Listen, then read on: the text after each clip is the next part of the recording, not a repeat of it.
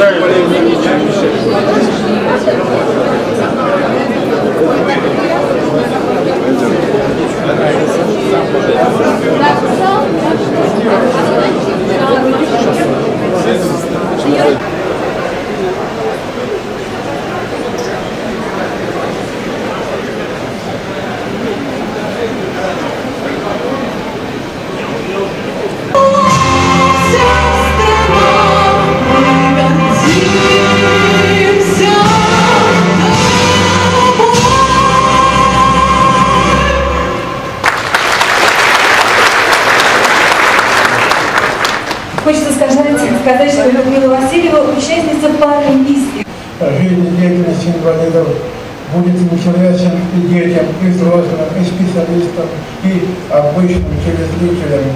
Через жестовый перевод программ и субтитры миллионы глухих и слаботочащих россиян также получат возможность приобщаться к творчеству и культуре, образованию и спорту, узнают, что такое новое и полезное в жизни и о том, что происходит в мире.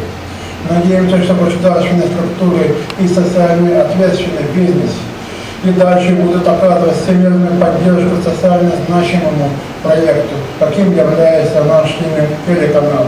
Желаю коллективу ИНВА, Медиа, ТВ, долголетия, творческих успехов. Спасибо.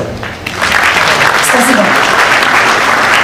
А сейчас на сцену а сейчас на сцену для приветственного слова приглашается депутат Государственной Думы. Он э, создан не только для одной какой-то части общества, но для всего общества. И он объединит все общество. Мы надеемся, что наш канал, который вот сегодня открыт, он найдет сторонников не только у нас сегодня в России, по эгидой Международного паралимпийского комитета, но и в других странах. Это действительно очень нужно.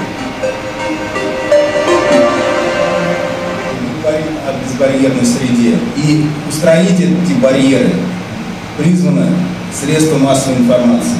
И я надеюсь, что вот этот новый канал будет способствовать устранению всех отношенческих барьеров и созданию в обществе доброжелательного отношения к инвалидам. Смотрите Пиво Медиа ТВ.